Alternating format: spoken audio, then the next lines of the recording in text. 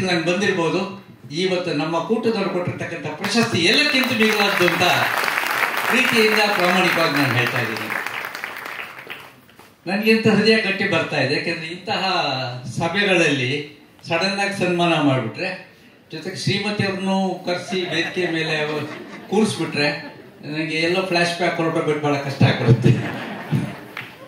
ಯಾಕೆಂದ್ರೆ ಅವರು ನಿಜವಾಗ್ಲೂ ನನ್ನ ಜೀವನದಲ್ಲಿ ಒಂಥರ ರೆಫರೆನ್ಸ್ ಲೈಬ್ರರಿ ಇದ್ದಾಗೆ ನಾನು ಎಲ್ಲೋ ಬರೀತಾ ಕೂತಿರ್ತಾ ಇದ್ದೆ.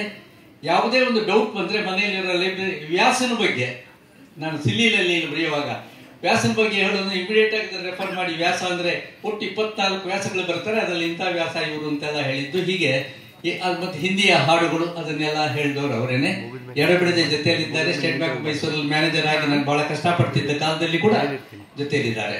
ಒಂದೆರಡು ವಿಷಯ ಹಂಚ್ಕೊಳ್ಳೋದಾದರೆ, ಒಂದು ಹಳ್ಳಿ, ಜಡ್ಗೇನಹಳ್ಳಿ ಅಂತಕ್ಕಂಥ ಹಳ್ಳಿ, ಹಳ್ಳಿಯಲ್ಲಿ ನಾನು ಹೇಳ್ತಾ ಇರೋದಾದ್ರೆ ಆ ಕಾಲದ್ದು ನಿಮ್ಮಲ್ಲಿ ಎಷ್ಟೋ ಜನ ಹುಟ್ಟಿಲ್ಲ ಅನಿಸುತ್ತೆ. ನೈನ್ಟೀನ್ ಏಯ್ಟಿ ಫೋರು ಅಲ್ಲಿ ಕೆಲಸ ಮಾಡ್ತಿದ್ದಾಗ ನೀರಿಗೆ ಬರ, ನೀರಿಗೆ ಎಂತ ಬರ ಅಂದ್ರೆ ಇವತ್ತು ಇದೆ ಅವತ್ತು ಇದೆ, ಅದೊಂದು ಬೋರ್ವೆಲ್ ಹಾಕ್ಸಿದ್ರು, ಯಾರೋ ಪುಣ್ಯಾತ್ಮರು. ರಸ್ತೆ ಬೋರ್ವೆಲ್, ಊರಿಗೆಲ್ಲ ಒಂದೇ ಬೋರ್ವೆಲ್. ಇಲ್ಲಾಂದರೆ ಇದಕ್ಕೆ ಹೋಗಬೇಕು. ಸೇರ್ಕೊಂಬರಕ್ಕೆ ಎಲ್ಲ ಮೂರು ಮೂರು ಕಿಲೋಮೀಟರ್ ಆಚೆ. ಆ ಬೋರ್ವೆಲ್ ಹತ್ರ ಬಿಂದಿಗೆಗಳೆಲ್ಲ ಸಾಲಾಗಿ ಇಟ್ಬಿಟ್ಟಿರ್ತಾರೆ. ಒಬ್ರಾದ್ಮೇಲೆ ಒಬ್ರು ಆದರೆ ನಾನು ನಾನಲ್ಲಿ ಮ್ಯಾನೇಜರು, ನಮ್ಮ ಮನೆಯವರು ಏನಾದರೂ ಅಲ್ಲಿ ಹೋದ್ರೆ ಈ ಮ್ಯಾನೇಜರ್ ಇಂಟಿ ಬಂತು ಅಂತ ಓವರ್ಟೇಕ್ ಮಾಡೋಕ್ಕೆ ಅವಕಾಶ ಕೊಡೋರು ಯಾಕೆಂದರೆ ಅವರು ಬಿ ಐ ಪಿಗಳಲ್ವಾ ಅವ್ರ ಅವ್ರ ನೀರು ಇಟ್ಕೊಂಡು ಹೋಗಿ ಮನೆಗೆ ಅಂತ.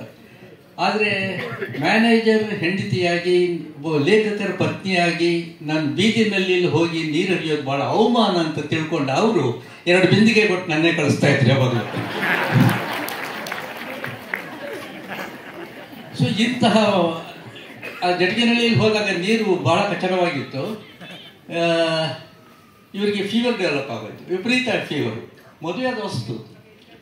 ಎಷ್ಟು ಫೀವರ್ ಅಂದ್ರೆ ನೂರೊಂದಿತ್ತು, ನೂರ ಎರಡು ಇತ್ತು ನೂರ ಮೂರು. ಸಿಂಗಲ್ ಮ್ಯಾನೇಜರ್ ನಾನು ಒಬ್ಬನೇ ಆಫೀಸ್ಗೆಲ್ಲ ಒಬ್ಬನೇ ಮ್ಯಾನೇಜರ್ ಐದು ಜನ ಸ್ಟಾಫು ನಾನು ರಜೆ ಹಾಕ್ಬೇಕಾದ್ರೆ ಇನ್ನೊಂದು ಬ್ರ್ಯಾಂಚಿಂದ ಇನ್ನೊಬ್ಬ ಬಂದು ಇದು ತಗೋಬೇಕು ಚಾರ್ಜ್ ತಗೋಬೇಕು. ನಮ್ಮ ಮೈಸೂರು ಬ್ಯಾಂಕಿನ ಅಧಿಕಾರಿಗಳ ಸಂಘ ಚೇರ್ಮನ್ ರದ್ದು ಗುಂಡೂರಾಯಲ್ಲಿ ಬಂದಿದ್ದಾರೆ. ಅವ್ರ ಸಹಾಯನ ಬರೆಯೋಕ್ಕಾಗಲ್ಲ ಇಂಥ ಎಕ್ಸಿಜೆನ್ಸಿಸ್ ಅಲ್ಲಿ ಅವ್ರು ನನಗೆ ಸಹಾಯ ಮಾಡಿದ್ದಾರೆ. ಇವರಿಗೆ ಜ್ವರ ಡೆವಲಪ್ ಆಗ್ತಾ ಇದೆ. ನೂರು ಎರಡು ದಾಟ್ತು. ಅಲ್ಲಿ ಊರಲ್ಲಿ ಯಾರೋ ಒಬ್ರು ಎಲ್ಲ ಮಾತ್ರೆಗಳು ಇಟ್ಕೊಂಡಿರೋ ವ್ಯಕ್ತಿ ಇದ್ದಾನೆ. ಅವನ್ನ ನಾವು ಡಾಕ್ಟ್ರು ಅಂತ ಕರೀತಾ ಇದ್ವಿ. ಯಾಕೆಂದ್ರೆ ಅವ್ರ ಹತ್ರ ಮಾತ್ರೆಗಳಿವೆ. ಆದ್ರಿಂದ ಅವ್ನು ಡಾಕ್ಟ್ರು ಸೊ ಆತ ಹೋಗಿ ಮನೆಗೆ ಹೋಗಿ ಮಾತ್ರೆಗಳೆಲ್ಲ ಕೊಡೋನು. ಕಡೆಗೊಂದಿನ ರಶಲ್ಲಿ ಕೂತಿದ್ದೀನಿ. ಫಸ್ಟ್ ವೀಕು ಅವನು ಬಂದು ಮನೆಯಲ್ಲಿ ಚೆಕ್ ಮಾಡ್ಕೊಂಡು ಬಂದಿದ್ದಾನೆ. ಟೆಂಪ್ರೇಚರ್ ಎಲ್ಲನೂ. ಸರ್. ಹೆಂಗಿದ್ದಾರೆ ನಮ್ಮ ಮನೆಯವರು ಅಂದೆ ನೀವು ಸ್ವಲ್ಪ ಧೈರ್ಯ ತಂದ್ಕೋಬೇಕು ಸರ್ ಅಂತ. ಡಾಕ್ಟ್ರ್ ಹಿಂಗೆ ಹೇಳ್ಬಿಟ್ರೆ ನಾವೆಲ್ಲ ಹೋಗೋದು. ಯಾಕೆ ಅಂದೆ ಸರ್, ನೂರು ಎರಡು ಆಗಿದೆ ಸರ್, ನೂರು ಮೂರು ದಾಟಿದ್ರೆ. ಕಷ್ಟ ಸರ್, ನೂರ ನಾಲ್ಕು ಆದ್ರೆ ನಂಗೆ ಅನಿಸುತ್ತೆ ಸರ್, ನಿಮ್ಗೆ ಎರಡನೇ ಮದುವೆ ಯೋಗ ಇದೆ ಅಂದ್ಬಿಟ್ಟು ಅವರು ಮದುವೆ ಆದ ವಸ್ತು, ಒಂದು ಕಡೆ ಸಂತೋಷ, ಹೊಸ ಮಾಮ ಬಂದು ಕಾಲು ತೊಳಿತಾನೆ ಅಂತ. ಇನ್ನೊಂದು ಕಡೆ ದುಃಖ ಪಾಪ ಅಮಾಯಕಳಾದ ನನ್ನೇ ನಂಬ್ಕೊಂಡು ಬಂದಿರ್ತಕ್ಕಂಥವ್ರು ಯಾವುದೋ? ನನ್ನ ಕರ್ಮಕ್ಕೆ ಹಳ್ಳಿಗೆ ಬಂದು ಇಲ್ಲಿ ಈ ಥರ ತೊಂದರೆ ಆಗ್ತಿದೆಯಲ್ಲ ಅಂತ?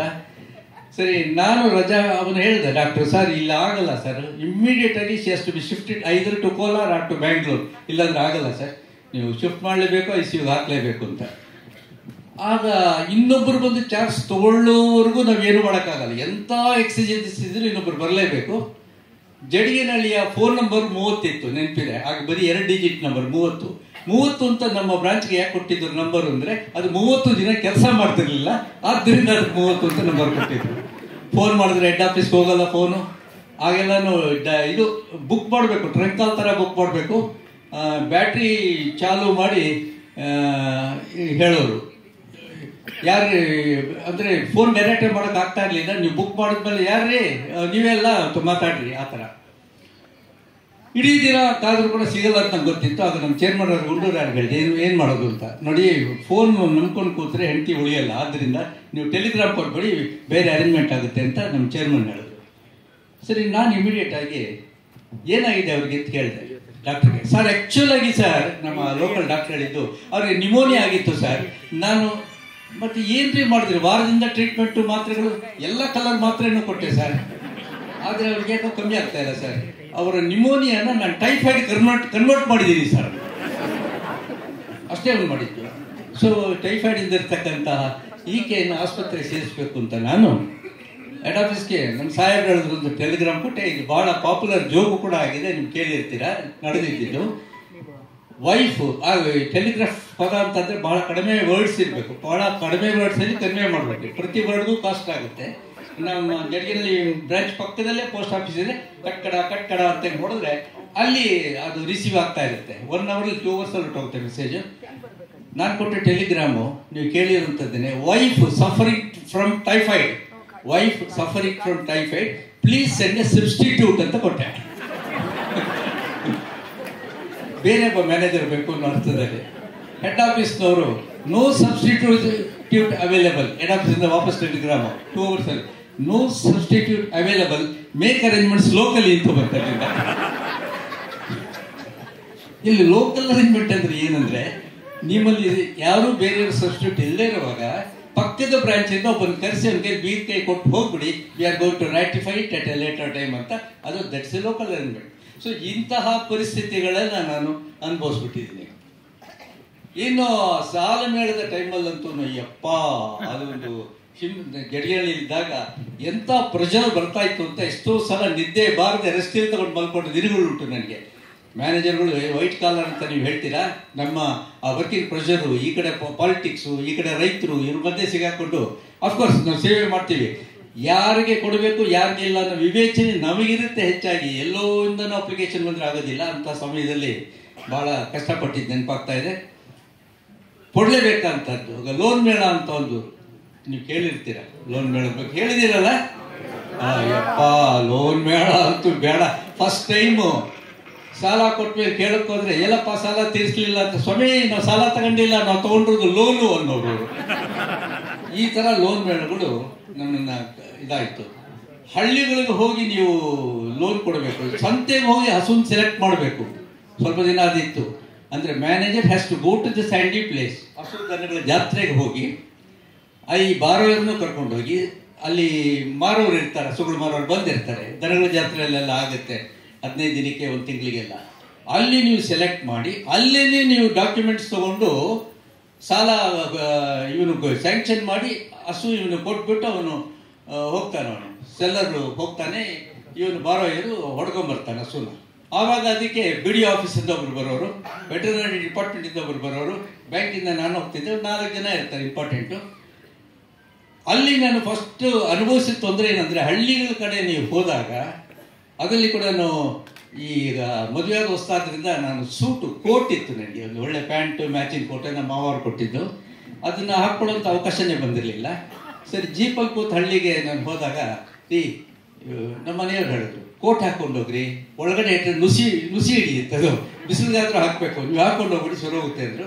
ನಾನು ಫುಲ್ ಸೂಟಲ್ಲಿ ಹಳ್ಳಿಗೆ ಹೋಗ್ತೀನಿ. ಹಳ್ಳಿಯ ನಾಯಿಗಳು ಎಲ್ಲ ತಿರುಗಿ ಬಿಟ್ಬಿಡುತ್ತೆ ಹೆಂಗೆ ಬರುತ್ತೆ ಗೊತ್ತೆ ನಿಮ್ಗೆ ಗೊತ್ತು? ಹಳ್ಳಿಯಲ್ಲಿ ನೀವು ಸೂಟ್ ಹಾಕೊಂಡು ಹೋಗಿ ಬಿಡುದಿಲ್ಲ ಸ್ವೇರ್ ಬಿಡಲ್ಲ. ಆ ಹಳ್ಳಿ ನಾಯಿಗಳಿಗೆ ನೋಡೇ ಇರಲ್ಲ ಆ ಡ್ರೆಸ್ಸು ಆ ಥರ ಸೂಟಲ್ಲಿ ಹೋಗೋದು ಹಳ್ಳಿ ನಾಯಿಗಳು ಪಂಚೆ ಕಟ್ಕೊಂಡೋಗಿ ಆರಾಮಾಗಿರುತ್ತೆ. ಪಟ್ಟಾಪಟ್ಟಿ ಚಡ್ಡಿ ಹಾಕೊಂಡೋಗಿ ಇನ್ನೂ ಆರಾಮಾಗಿರುತ್ತೆ. ಹಂಗೆ ಹೋಗಿ ಇನ್ನೂ ಆರಾಮಾಗಿರುತ್ತೆ ಆದರೆ ನೀವು ಸೂಟ್ ಹಾಕೊಂಡು ಹೋದ್ರೆ ಮಾತ್ರ ಬಿಡೋದಿಲ್ಲ. ಬಂದು ಚೇಸ್ ಮಾಡಿ ನಿಮ್ಮ ಮೀನು ಕಂಡಕ್ಕೆ ಬಾಯಿ ಹಾಕೇ ಆಗುತ್ತೆ.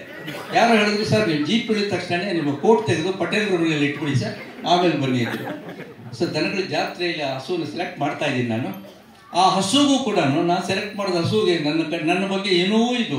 ಎಲ್ಲರೂ ಆರ್ಡಿನರಿ ಡ್ರೆಸ್ಸಲ್ಲಿ ಇದ್ದರೆ, ನಾನು ಸೂಟಲ್ಲಿದ್ದೀನಿ ಕೋಟಲ್ಲಿದ್ದೀನಿ ಈ ಮನುಷ್ಯ ಏನೂ ತೊಂದರೆ ಕೊಡಕ್ಕೆ ಬಂದಿದ್ದಾನೆ ಅಂದ್ಬಿಟ್ಟು ನನ್ನ ಕಡೆನೇ ದುರು ದುರು ದುರು ಅಂತ ನೋಡೋದು. ನನಗೂ ಹಸು ಕಟ್ಟರೆ ಭಯ. ಹಾಗೆಲ್ಲ ಕೊಂಬುಗಳಿರೋ ಹಸುಗಳವೆಲ್ಲ. ಆಮೇಲೆ ಆಯಿತು, ಅವನು ದಲ್ಲಾಳಿಗಳು ಇರ್ತಾರೆ. ಅವ್ರು ಬಂದು ಅದ್ರ ಬಗ್ಗೆ ಗುಣಗಾನ ಮಾಡ್ತಾರೆ. ಸರ್, ನೋಡಿ ಸರ್, ಇದು ಐದೂವರೆ ಸಾವಿರ ಸರ್. ಬೆಳಿಗ್ಗೆ ಎರಡೂವರೆ ಲೀಟರ್ ಸರ್ ಸಾಯಂಕಾಲ ಎರಡೂವರೆ ಐದು ಲೀಟರ್ ಸರ್ ಏನು ಅಂತ ಅವನು ಹೇಳಲಿಲ್ಲ. ಅದನ್ನು ಹಾಲು ಅಥವಾ ಬೇರೆನೋ ಅವನು ಹೇಳಲ್ಲ. ಅಂದ. ಸರಿ, ನನಗೇನು ನಡಪ ನಿನ್ಗೆ ಒಪ್ಪಿಗೆ ಆದರೆ ತಗೋ ಅಂದರೆ ಕಡೆಗೆ ಐದು ಸಾವಿರ ರೂಪಾಯಿಗೆ ಹಸುನ, ಆ ಕಾಲದಲ್ಲಿ ಅಷ್ಟೇ ಇತ್ತು ಬೆಲೆ. ಸರ್ ಐದು ಸಾವಿರ ರೂಪಾಯಿ ಒಂದು ಹಸುನ, ಬೆಳಗ್ಗೆ ಮೂರು ಎರಡೂವರೆ ಲೀಟ್ರ್ ಸಾಯಂಕಾಲ ಎರಡೂವರೆ ಲೀಟ್ರ್ ಒಪ್ಕೊಂಡ್ವಿ. ಹಸು ಸೆಲೆಕ್ಟ್ ಮಾಡಿದ್ವಿ. ಸೆಲ್ಲರು ಒಪ್ಕೊಂಡ, ಬಾರೋರ್ ಒಪ್ಕೊಂಡ, ವೆಟರ್ನರಿ ನಮ್ಮ ನಮ್ಮ ಜೊತೆ ನಮ್ಮ ಜೊತೆ ಬಂದಿರ್ತಾನೆ. ಅದು ಕಿವಿಗೊಂದು ಇನ್ಶೂರೆನ್ಸ್ ಒಂದು ಟ್ಯಾಗ್, ಒಂದು ವಾಲೆ ಹಾಕಬೇಕು ನಾನು ಅವ್ನಿಗೆ, ಆಯ್ತಪ್ಪ ಒಲೆ ಹಾಕು ಅಂದೆ. ಅದಕ್ಕೊಂದು ನಂಬರ್ ಇರುತ್ತೆ. ಹಸು ತೀರ್ಕೊಂಡಾಗ ಅದನ್ನು ಕಟ್ ಮಾಡಿ ನೀವು ಆಫೀಸಿಗೆ ಕಳಿಸಿದ್ರೆ ಫುಲ್ ಅಮೌಂಟ್ ಬಿ ರಿಯಂಬರ್ಸ್ ವಾಪಸ್ ನಿಮ್ಗೆ ಬರುತ್ತೆ. ಅವನು ಹಸು ಹಿಂದೆ ಹೋಗಿ, ಹಸು ನನ್ನೇ ನೋಡ್ತಿದ್ದೆ ದುರು ದುರು ದುರು. ಅವನು ಹತ್ತಿ ಹಿಂದೆ ಹೋಗಿ, ಅದ್ರ ಕಿವಿ ಹತ್ರ ಈ ಪಟ್ಕಾರಿ ಇರುತ್ತೆ ಅದರಲ್ಲಿ ಅದನ್ನಿಟ್ಟು ಪಟಕ್ ಅಂತ ಹೊಡೆದ ನೋಡಿ. ಎಂಥವ್ರಿಗೆ ಆಗಲಿ ನೋವಾಗುತ್ತೆ ಬೆದರು ಬಿಡುತ್ತದು ಬೆದರು ಬಿಡ್ತು, ಸಿಟ್ಟು ಬಂತು. ಈ ಕೋರ್ಟ್ ಮನುಷ್ಯನೇ ನನಗೆ ತೊಂದರೆ ಕೊಡ್ತಿರೋದು ಅಂತ ನನ್ನ ಮೇಲೆ ಅದು ಸಿಟ್ಟು ಮಾಡ್ಕೊಂಡ್ಬಿಡ್ತು ಸರಿ, ನಾನು ಸ್ವಲ್ಪ ಹುಷಾರಾದೆ. ಅದಾದಮೇಲೆ ಎಲ್ಲರೂ ಹಸುನ ಸವರ್ತಾರೆ ಅದ್ರ ಬೆನ್ ಮೇಲೆ ನಿಂತಾರೆ. ಅಂದಾಗ ಅದು ಕಂಫರ್ಟಬಲ್ ಆಗಿರುತ್ತೆ. ನಾನು ಹತ್ರ ಹೋದ್ರೆ ಹಾಯಕ್ಕೆ ಬರುತ್ತೆ. ಇಲ್ಲ ಫಸ್ಟ್ ಡೇ ಇದು. ನಾನು ಇವತ್ತೇ ನಾನು ಭಯ ಪಟ್ಬಿಟ್ರೆ ಆಮೇಲೆ ಗತಿ ಏನು ಅಂತ ನಾನು ಅಂದ್ಕೊಂಡು ಧೈರ್ಯ ಮಾಡಿದೆ. ಯಾಕೆಂದ್ರೆ ಫಸ್ಟ್ ಡೇ ಏನಾದರೂ ಫೇಲ್ಯೂರ್ ಅಂದರೆ ಫೇಲ್ಯೂರ್ ಆಗಿಬಿಡುತ್ತೆ. ನಾನು ಬೆನ್ ಬೆನ್ನು ಸವರಲೇಬೇಕು ನಾನು. ತೀರ್ಮಾನ ಮಾಡಿದೆ. ಇವತ್ತು ನಾನು ಹಿಂಜರಿಬಾರ್ದು. ಯಾಕಂದ್ರೆ ನನ್ನ ಅಸೆಟ್ಟು ನಾ ಹೈಪತಿಕೇಟ್ ಮಾಡ್ಕೊಂಡಿದ್ದೀನಿ ನಮ್ಮ ಬ್ಯಾಂಕಿನ ಆಸ್ತಿ ಅದು. ಅದು ನಾನು ಮುಟ್ಲಿಲ್ಲ ಅಂದ್ರೆ ಹೆಂಗೆ? ಅಂತ ನಾನು ಧೈರ್ಯ ಮಾಡಿಕೊಂಡು ಅದನ್ನು ಬೆನ್ ಸೌರಕ್ಕೆ ಇನ್ನೊಂದು ಎಕ್ಸಾಂಪಲ್ ನೆನಪಾಯ್ತು. ಟಿ ಎನ್ ಸೀತಾರಾಮು ನನ್ನ ಮುಕ್ತ ಮುಕ್ತ ನನ್ನ ರೂಮ್ಮೇಟ್ ಆಗಿದ್ರು ಬೊಬ್ಬರ್ ಕಮ್ಮಿ ಹಾಸ್ಟೆಲಲ್ಲಿ ಅವರು ಒಂದ್ಸಲ ಕಾಲೇಜ್ ಹೋಗ್ತಿದ್ದಾಗ ನನಗೆ ಹೇಳಿದರು ಕಾಲೇಜ್ ಡೇಸಲ್ಲಿ ನರಸಿಂಹಮೂರ್ತಿ ಫಸ್ಟ್ ಟೈಮ್ ಮುಟ್ಟೋವಾಗ ಭಯ ಆಗುತ್ತೆ, ಒಂದ್ಸಲ ಮುಟ್ಬಿಟ್ರೆ ಸುರು ಹೋಗುತ್ತೆ ಅಂತ ಹೇಳಿದ್ರು. ಅದು ಬೇರೆ ಕಾಂಟೆಸ್ಟ್ ಹೇಳಿದ್ರು. ತಂದು ಇಲ್ಲಿ ಅಪ್ಲೈ ಮಾಡಿಕೊಂಡು, ಯಾತಕ್ಕೆ ಇದನ್ನ ಮುಟ್ಟಬಾರ್ದು ಅಂತ ಅದು ಬೆಂಗಳೂರು ಸವರದೆ ಸರ್, ಅದಕ್ಕೆ ಎಲ್ಲಿತ್ತು ರೋಷ ತನ್ನ ಎರಡು ಕೊಂಬುಗಳಿಂದ ಹಿಡಿದೆತ್ತಿ ಬಿಸಾಕ್ಬೇಕು ನನ್ನ. ಅಷ್ಟರಲ್ಲಿ ದಳ್ಳಾಳಿ ಬಂದು ಅದು ಮೂಗುದಾರ ಹಿಡ್ಕೊಂಡು ಹಸುವಿಗೆ ಮೂಗಿ, ಮೂತಿಗೆ ಪಟ್ ಪಟ್ ಅಂತ ಹೊಡೆದು ಈಗ ಮುಂಡೆದೆ ಹಸುವಿನ ಬೈದ. ಹೊಸ ಮ್ಯಾನೇಜರ್ ಸಾಲ ಕೊಡಕ್ಕೆ ಅಂತ ಬಂದಿರುವಾಗ, ಅವ್ರ ಮೇಲೆ ಹಾಯಕ್ಕೆ ಹೋಗ್ತೀಯಾ? ಸಾಲ ಕೂಡ ಮುಂಚೆನೆ ಅಂದ. ಆಮೇಲೆ ನನ್ನ ಕಡೆ ತಿರ್ಬಿಟ್ಟು ಸರ್, ಅದು ಪ್ರಾಣಿ ಸರ್, ಗೊತ್ತಾಗ್ಲಿಲ್ಲ. ಅದು ಹಳೆ ಮ್ಯಾನೇಜರ್ ಸಾಲ ಉಸೂಲಿ ಬಂದವ್ರೆ ಅಂತ ಅನ್ಕೊಂಡ್ಬಿಡ್ತು ಸರ್. ಏನಪ್ಪ, ಇದ್ರ ಮೇಲೆ ಸಾಲ ಇದೆಯಾ ಅಂದೆ. ಆಯ ಯಾವ್ದ್ರ ಮೇಲೆ ಸಾಲ ಇಲ್ಲ. ನೀವು ಹೋಗ್ತಿರಂಗೆ ಕಿತ್ತಾಕ್ತೀವಿ ಒಲೆನ ಹೋಗಿ ಅಂದ ಸೊ ಈ ತರ ನಾನು ಸಾಲಗಳು ಕೊಡ್ತಾ ಇರುವಾಗ ಬರೀ ಸಾಲ ಸರ್, ನಮಗೆ ಟಾರ್ಗೆಟ್ ಐವತ್ತು ಸಾಲ ಇದು ಕೊಡಬೇಕು ಐವತ್ತು ಕೊಡಬೇಕು. ಕೊಡ್ತಾ ಇದ್ದೀನಿ. ಸಾಯಂಕಾಲ ಐದು ಗಂಟೆ ಆಗ್ಬಿಟ್ಟಿದೆ. ನಾನು ನೂರು ಮಾಲೂರು. ಆಗಲೇ ಬಾಬಟ್ಟವರು ಅದನ್ನ ಹೇಳಿದ್ರು. ಎಷ್ಟೋ ವೇದಿಕೆಗಳಲ್ಲಿ ನನಗೆ ಪರಿಚಯ ಆಗಿದೆ ಸರ್. ಬಾಪಟ್ ಅವ್ರು ಮಾಡಿದ ರೀತಿಯಲ್ಲಿ ಪರಿಚಯ ಯಾರೂ ಮಾಡಿಲ್ಲ ಇವತ್ತು ನನಗೆ. ಫಸ್ಟ್ ಆಫ್ ಇಟ್ಸ್ ಕೈಂಡ್ ನಿಜವಾಗ್ಲು ನನ್ನ ಜೀವನದ ಕೆಲವು ಪ್ರಮುಖ ಘಟನೆಗಳೆಲ್ಲ ತಗೊಂಡು ಬೇರೆ ರೀತಿಯಲ್ಲೇ ಹೇಳಿದ್ರು. ಸೊ ನನ್ನ ಮಾಲೂರಲ್ಲಿ ರಾಮಕೃಷ್ಣಾಶ್ರಮ ಅಂತಿದೆ ನನ್ನ, ನನಗೆ ಬೇಕಾದವರೇ ಅಲ್ಲಿ ಮುಖ್ಯಸ್ಥರಾಗಿದ್ದರು ರೆಸಿಡೆನ್ಷಿಯಲ್ ಸ್ಕೂಲ್ ಈಗಲೂ ಇದೆ ಅದು. ಅಲ್ಲಿಂದ ನನಗೆ ಯಾವುದೇ ಶಾರದಾ ಜಯಂತಿ, ರಾಮಕೃಷ್ಣ ಜಯಂತಿ ಆದರೆ ನನ್ನ ಕರೆಯೋರು ಅವತ್ತು ನಾವು ಹೋಗಬೇಕು, ಆರು ಗಂಟೆಗೆ ಅಲ್ಲಿರಬೇಕು ಇಲ್ಲಿ ಐದು ಕಾಲ ಆಗೋಗ್ಬಿಟ್ಟಿದೆ. Of course half an hour journey ನೋಡ್ಕೋತೀನಿ ಮಾಲೂರಿಗೆ ಹೋಗಬೇಕು. ಅದು ಆಗೆಲ್ಲ ಫೋನ್ಗಳು ಎಲ್ಲ, ಮೊಬೈಲ್ಗಳೆಲ್ಲ ಇಲ್ಲ ಏಯ್ಟಿ ಫೋರಲ್ಲಿ ಸರಿ, ತಕ್ಷಣ ಜೀಪಲ್ಲಿ ಕೂತ್ಕೊಂಡು ಮಾಲೂರಿಗೆ ಹೋಗ್ತೀನಿ. ಜನ ಸೇರಿಬಿಟ್ಟಿದ್ದಾರೆ. ಏನು? ಜನ ಇದೇ ಥರ ಬೇಡಿಕೆ ತುಂಬಾ ಮೂರು ಸ್ವಾಮಿಗಳು ಕರೆಸಿದ್ರು. ನಿಮ್ಗೆ ಗೊತ್ತಿರೋರು ಎಲ್ಲರು ಒಬ್ಬರು ಪುರುಷೋತ್ತಮಾನಂದಜಿ ಅಂತ ಸ್ವಾಮಿಯವರು. ಅವರು ವಿವೇಕಾನಂದ ಬಗ್ಗೆ ಪುಸ್ತಕಗಳನ್ನು ಬರೆದ ಅದ್ಭುತ ಲೇಖಕರು, ಮತ್ತೊಬ್ಬರು ಹರಿಹರಾನಂದ ಅಂತ ಕೋಲಾರ ಸ್ವಾಮಿಗಳು, ಅವರು ಮಾರುತಿ ಭಕ್ತರು, ಈಗ ಅವರಿಲ್ಲ. ಮತ್ತೊಬ್ಬರು ರಾಮಕೃಷ್ಣಾಶ್ರಮದವರು, ಅವರ ಹೆಸರು ನೆನಪಾಗ್ತಾ ಇಲ್ಲ. ಮೂರು ಸ್ವಾಮಿಗಳಿದ್ದಾರೆ. ನಾಲ್ಕನೆಯ ನಾನು ನಾನು, ನಾನ್ ಸ್ವಾಮಿ ಸ್ವಾಮಿ ಅಲ್ಲದವನು ಅಂತ. ಸರಿ, ಅವ್ರು ಮೂರು ಆಗಲೇ ನಿಗಿ ಅಂತ ಕಾವಿ ಡ್ರೆಸ್ ಹಾಕೊಂಡು ಕೂತ್ಬಿಟ್ಟಿದ್ದಾರೆ. ನಾಲ್ಕನೆಯವನು ನಾನು ಹೋಗಬೇಕು. ಬೆಳಿಗ್ಗೆ ಮನೆ ಬಿಟ್ಟಿದ್ದು ತಲೆಯೆಲ್ಲ ಕೆದರಿದೆ, ಆ ಕೋರ್ಟ್ ಮೇಲೆಲ್ಲ ಧೂಳಿದೆ. ಡೈರೆಕ್ಟಾಗಿ ಹಸು, ಹಸುವಿನ ಸಂತೆಯಿಂದ ನಾನು ಬರ್ತಾ ಇದ್ದೀನಿ, ದನಗಳ ಜಾತ್ರೆಯಿಂದ ಬರ್ತಾ ಇದ್ದೀನಿ. ವೇದಿಕೆಗೆ ಬರ್ತಿರೋಂಗೇನೆ ಆ ಪಕ್ಕದಲ್ಲಿದ್ದ ಆ ನಿರೂಪಕರು, ನರಸಿಂಹಮೂರ್ತಿಯವರು ಬಂದರು, ಶುರು ಮಾಡ್ಬೋದು ನಾ ಮುಂದೆ ಪಕ್ಕದಲ್ಲಿ ಕೂತೆ. ಸ್ವಾಮಿಗಳು ನಗಲ್ಲ ಸಾಮಾನ್ಯವಾಗಿ. ಯಾಕೆಂದ್ರೆ ನಕ್ಕರೆ ಅವ್ರಿಗೇನೋ ಒಂದು ಅಂತಸ್ತು ಕಡಿಮೆ ಆಗುತ್ತೆ ಅಂತ ಆಯಿತು. ಆದರೆ ಅವತ್ತು ಎಂಜಾಯ್ ಮಾಡಿದ್ರು. ಮೊದಲು ಸ್ವಾಮಿ ನಿಂತ್ಕೊಂಡ್ರು, ಶಾಂತಿ ಶ್ಲೋಕ ಹೇಳಿದ್ರು. ಓಂ ಶಾಂತಿ ಶಾಂತಿ ಶಾಂತಿ ಹೇ ಅಂತೇಳಿ ಅಧ್ಯಕ್ಷರೇ ಮತ್ತು ಮಹಾಜನಗಳೇ ಅಂತ. ಅಂದ್ರೆ ಅಧ್ಯಕ್ಷರು ಮಹಾಜನಗಳು ಅಲ್ಲ ಅಂತ ಅವ್ರು ಹೇಳ್ತಿರ್ತಾರೆ, ಗೊತ್ತಾಗಲ್ಲ ಹೇಳ್ಬೋದು ಆಮೇಲೆ ನೆಕ್ಸ್ಟ್ ಸ್ವಾಮಿ ನಿಂತ್ಕೊಂಡ್ರು ಅವರಂತೂ ಮಾರುತಿ ಭಕ್ತರು ಕೋಲಾರದವರು. ಅವ್ರು ಮಧ್ಯೆ ಮಧ್ಯೆ ಮಾರುತಿ ಅಂತ ಆವೇಶದಿಂದ ಕೂಗೋರು. ನಾನು ಕೈಯಲ್ಲಿ ಒಂದು ಸ್ಕ್ರಿಬಲ್ ಪ್ಯಾಡ್ ಇಟ್ಕೊಂಡು ಎಷ್ಟು ಹಸುಗಳ ಸಾಲ ಆಯಿತು, ಎಷ್ಟು ಎಮ್ಮೆಗಾಯಿತು ಎಷ್ಟು ನಾನು ಕೊಡಬೇಕು ಅಂತ ನಾನು ಲೆಕ್ಕ ಮಾಡ್ತಾ ಇದ್ದೀನಿ. ಅಷ್ಟರಲ್ಲಿ ಮಾರುತಿ ಸ್ವಾಮಿಗಳು ನಿಂತ್ಕೊಂಡ್ಬಿಟ್ಟು, ಮಾರುತಿ ಮಾರುತಿ ಅಂತ ಮೂರು ಸಲ ಹೋಗ್ಬಿಟ್ರು ನನ್ನ ಹೆಸರು ಮೂರ್ತಿ ಅಂತ. ನಾನು ಟಕ್ಕಂತ ಎದ್ದು ನಿಂತ್ಕೊಂಡೆ ಆಗ ಕಾರ್ಯಕರ್ತರು, ಸರ್, ಅವ್ರು ಕೂಗಿದ್ದು, ನಿಮ್ಮನ್ನೆಲ್ಲ ಕೂತ್ಕೊಳ್ಳಿ. ನಿಮ್ಮ ಬ್ರದರ್ನವ್ರು ಕೂಗಿದ್ದು ಕೂತ್ಕೊಳ್ಳಿ.